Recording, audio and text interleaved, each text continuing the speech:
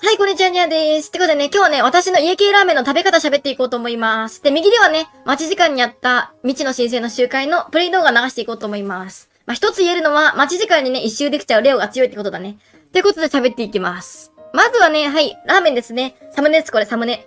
美味しそうにね、加工しといたんだけど、大前提として私は今回ね、一人で来店して、一人でね、カウンター席座って、で、隣のね、おじさんと、後ろのね、店員さんにめちゃくちゃ見られながらね、写真撮ってます。頑張ったんだなって思ってみてください。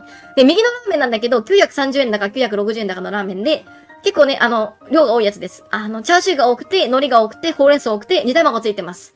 で、あのね、固め濃いめ多めですね。麺が固めで、味が濃いめで、油は多めです。はい。で、左のね、ちなみにスマホは、最近買ったね、iPhone 13 Pro ですね。はい。ってことで、見ていきましょう。まずね、はい。まずは、椅子ですね。これ座った椅子ですね。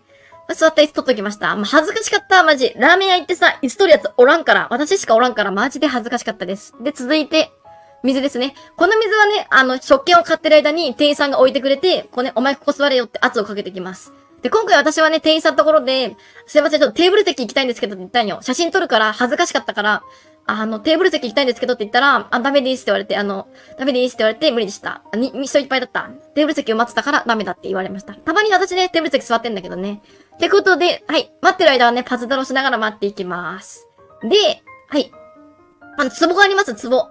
家系ラーメンにはね、大抵壺があります。これ多分全国あると思います。あ、ちなみに家系ラーメンっていうのは、横浜家系ラーメンのことで、多分全国にありますね。で、壺が絶対全国にあります。で、この壺何かっていうとですね、はい。これはですね、きゅうりですね。ご飯がおかわり無料で、まあ、そのご飯をね、無限に食べれるようにきゅうりがあるんだと思います。で、私はね、あの、高校生の頃から、中学生の頃から、よく覚えてないけど、初めて家系ラーメンを食べた時からね、あの、最初にラーメンを一口食べる前にご飯来るから、そのご飯ときゅうりをね、一かけら食べることで、胃にね、今から家系ラーメン食べるよっていうのを教えるようにしてますね。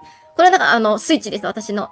きゅうりで、家系ラーメンの胃にスイッチしてますね。はい。ってことで、はい、待ってると、ラーメン来ますね。さっき言った通り、固め濃いめ多めですね。さっきのね、ラーメンは加工しだったけど、これは加工してないからね。あ、あんま美味しそうじゃないかもしれないですね。はい。あ、ちなみにこれは iPhone 13で撮ってます。やっぱね、画質綺麗な気がしないでもないですね。はい。あと、油がギトギトですね。はい。よし。で、食べていきます。うい。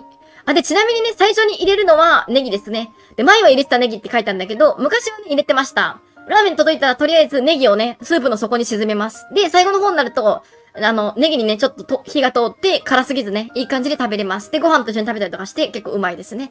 で、たま、最近は食べてないんです。なんで食べてないかっていうと、前にね、あの、私基本的に深夜にね、ラーメン屋行くんだけど、あの、配信終わった後24時とかに配信が終わって、このラーメン屋が23、25時まで、1時までだから、まあ、12時半ぐらいに行くんだけど、クソ迷惑な客としてね、生きてるんですけど、まあ、そしたらなんかね、締めの作業をねしてて、アルバイトがいて、アルバイトの子にね、あの、ネギの片付け方の話してて、その、ベテランの人が、ネギはね、匂い嗅いでねって言ってて、あの、たまにめっちゃ臭いやつあるから、あの、匂い嗅いで、ダメなやつは教えてって言ってて、うわ、そんな時間になるとダメなやつ出てくるんだと思って、で、私ね、それ以来ね、ずっとね、匂い嗅いでたんよ。そしたら本当に臭いやつあって、で、それで、それ以来ね、あの、食べなくなりました。はい。で、ご飯ですね。ご飯はちなみに、あの、ラーメン届いたら、油をね、こうバーってかけて、で、ニンニク乗せて、胡椒かけます。そうするとめちゃくちゃうまいです。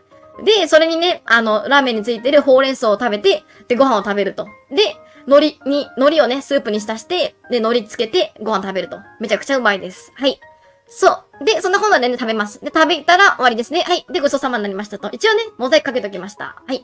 めちゃくちゃ美味しかったですね。はい。さあ、じゃあね、最後ね、ちょっとだけパズドラの話して終わりましょう。はい。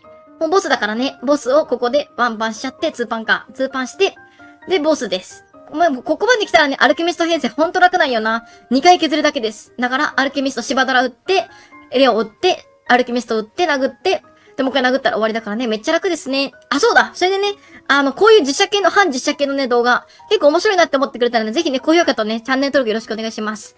好評だったらね、またやるので、ぜひぜひね、押しといてください。はい。よし。